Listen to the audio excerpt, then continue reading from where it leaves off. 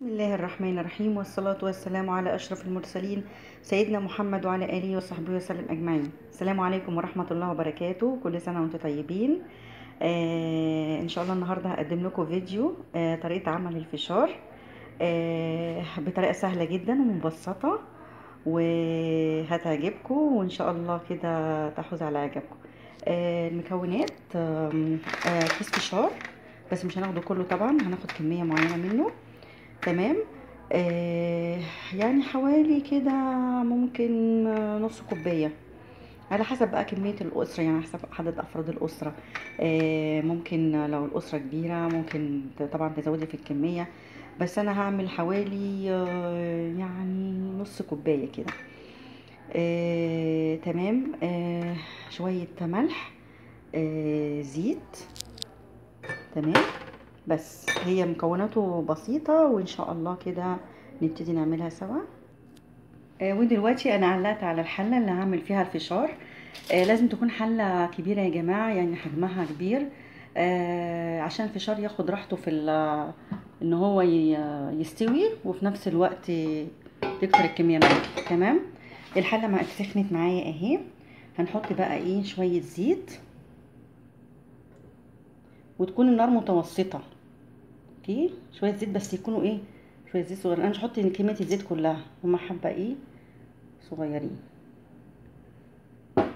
تمام؟ آه لما الزيت يبتدي يسخن معايا ادي الزيت سخن معايا اهو. هحط بقى كمية الفشار دي. تمام؟ يعني حوالي نص كوباية كده. طبعا أنا زي ما قلت لكم على قد عدد أفراد الأسرة. تمام؟ يلا نبتدي. بسم الله الرحمن الرحيم.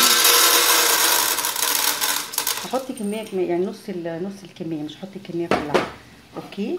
حطي بقى عليه تبقى النار متوسطة زي ما قلت لكم لحد ما أسمع بقى الطرقعة والفرقعة بتاعته كده. إيه ما تفتحيش عليه خالص وخلي النار متوسطة. سامعين؟ أدي الفرقعة بتاعته ابتدت أهي. ابتدى إن هو يستوي. لما بتستوي تسمعي صوت إيه؟ زي طرقعة كده في قلب الحلة. آه أهو سامعين؟ آه بتديري الحلة ما ما تخليش الحلة على إيه؟ على مكان معين. تديري الحلة وتديها أوكي؟ هتلاقيه بي إيه؟ الطرقعة بتزيد معاكي. دلوقتي بصي انت تمسكيه بقى كده تقعدي تعملي كده. ليه بقى؟ علشان يتقلب مع بعضه هتزيد معاكي الطرقعة بتاعت الفشار وهيطلع كويس. هحط الملح بقى بتاعي كده. تمام؟ وأطلع الدور الأول بتاع الفشار. لسه في حبة كمان هعمله. أحط حبة زيت كمان حوالي يعني قيمة معلقتين كده. حاجة بسيطة ما تكتريش الزيت.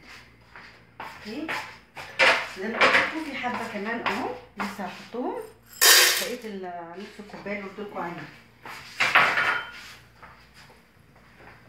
هغطي عليه.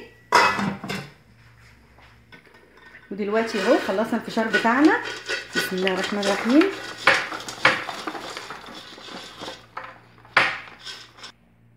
دلوقتي هنحط شوية ملح على الحبات الباقيين. وكده خلاص الفشار بتاعنا خلص أهو. أحلى تسلية آه وأنتوا قاعدين قدام التلفزيون وأنتوا قاعدين عايزين تقزقزوا في حاجة. آه الفشار وجبة حلوة قوي ومفيدة ومغذية ليكوا ولولادكم وبألف هنا وشفا مع قناة الهنا. السلام عليكم ورحمة الله وبركاته.